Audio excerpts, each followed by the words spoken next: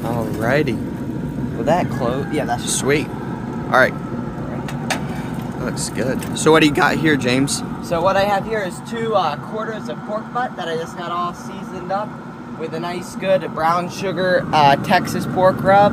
And these are going in the smoker and they will be done in seven hours. Can you pull one out and show us? Sure. Show us it. Real quick.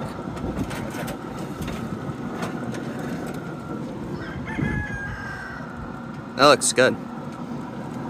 Alright, so they'll be done in seven hours? Seven hours. Awesome. Alright, we'll bring y'all back then.